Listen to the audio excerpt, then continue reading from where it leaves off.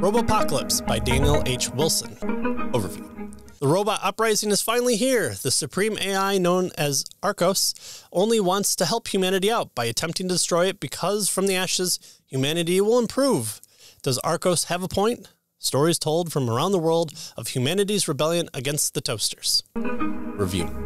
Finding a great book must be what chasing a good high is like. I was good, but once it's done, you really like to find that same hit again. This is my feeling when it comes to apocalypse sci fi and World War Z as my gold standard. I won't sing its praise here, but I am unable to be objective and not compare all apocalypses to it. This review also won't be a citation of the similarities and contrast to World War Z. It just is a big factor in my review.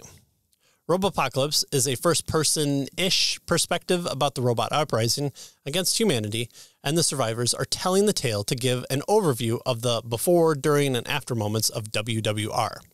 This format was popularized by The Good War by Studs Terkel and World War II, and World War Z took inspiration from it. What this book does is that it gives a purpose for existing in the style and format that it is right off the bat, and it's in line with the story. Just great the book does tend to follow about four to eight people throughout, with several others added along the way.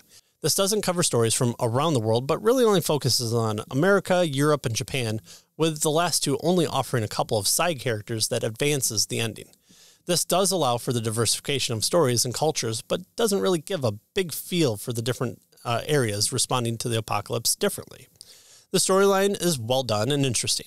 However, there tends to be a, loss of focus on just how big the apocalypse is. The military tech going AWOL is clear, but other than a focus on smart cars and a few helper bots running down people, uh, there isn't a lot of variety in the machine uprising. The horrors of the war are talked about, but the descriptions of changes humanity undergoes is a little bit slightly lacking. There is a lot of detail glanced over. In fact, most of the story uh, coverage tends to focus on moments, both big and small, that drive humanity to reclaiming control and defeating the uprising.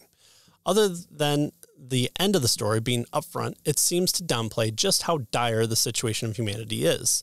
Most characters tend to end with, and this event would be the catalyst that was important to humanity defeating the robots.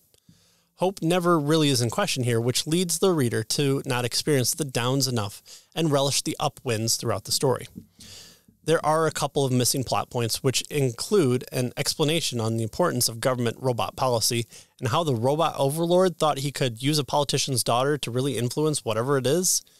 The facts of supplies and reprogramming robots to uh, serve in humanity's resistance tend to be underplayed, and another brushed over concept but important parts in the total apocalypse. The end is also really missing a long overlook wrap up, including how life has changed, what steps humanity has taken to live again and prevent another uprising, and where are the other characters now.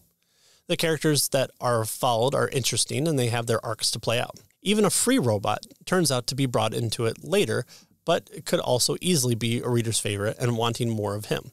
Wilson's Native American background plays a big part in the storytelling, it is neither a good nor a bad thing, and in fact, I would have liked more explanation of what made the reservation folks such a good resistant point for humanity, other than the author wanted to include his background into saving humanity.